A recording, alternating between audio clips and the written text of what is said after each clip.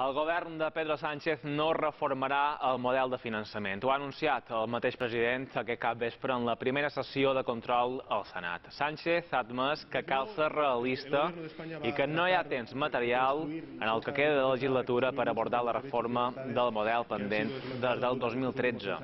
Ahir Sánchez va afirmar a Televisió Espanyola que no pensa convocar eleccions fins al 2020. Fins llavors, ha assegurat, aprovarà millores per a totes les comunitats autònomes sense revisar a fons el model. que está desde la época de la conquista y que está en la Constitución. En El objetivo y la voluntad del nuevo gobierno es no poder, eh, digamos, eh, renovar el sistema de financiación autonómica en su conjunto, porque no va a dar tiempo material a lo largo de esta legislatura, pero sí vamos a hacer, sí vamos a hacer, sí vamos a hacer, vamos a hacer mejoras de financiación para todas y cada una de las comunidades autónomas a lo largo de los próximos meses hasta la convocatoria de las elecciones.